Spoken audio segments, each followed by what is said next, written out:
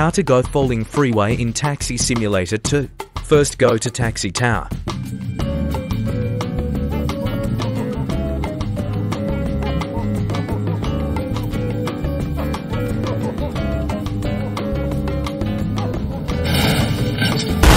Well you see in one of worker monitor, there is secret button. In the monitor screen there is the square.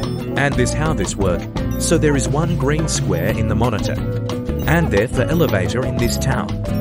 And you must get in the elevator that the green square show. If there is green box right here. You must go to this elevator.